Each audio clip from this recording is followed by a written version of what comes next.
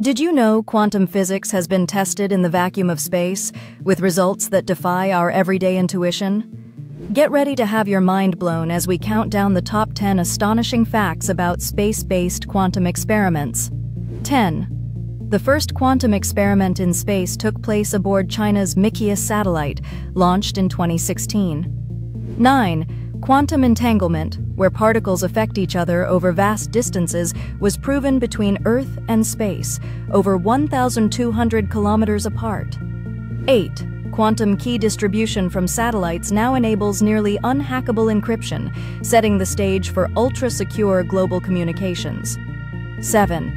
Experiments in microgravity show that quantum states last longer, potentially revolutionizing quantum computing. 6. NASA's Cold Atom Lab on the ISS creates the coldest known spot in the universe, just billionths of a degree above absolute zero. 5.